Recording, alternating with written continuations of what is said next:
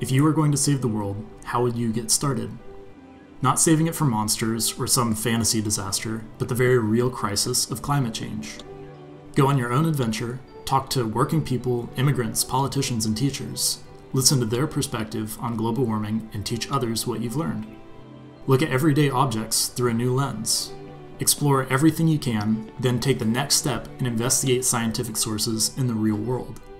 Learn, teach, and discover. Start your adventure in climate conversations today.